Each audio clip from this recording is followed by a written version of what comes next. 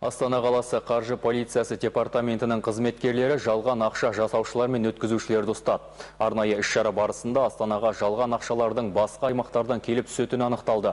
Ұйымдасқан қылмыстық топты Жамбыл және Оңтүстік Қазақстан облысының жеті тұрғыны құрған.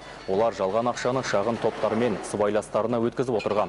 Департамент қызметкерлері еліміздің бірнеше аймағында жедел іздестіру шараларын жүргізіп, 20 миллион теңгеден астам жалған ақша дайындауға арналған жабдықтарды тәркіледі. Ал Тараз қаласында ақша ақша шығаруға арнайы дайындалған заманауи компьютерлік технологиялық жабдықтар жойылды.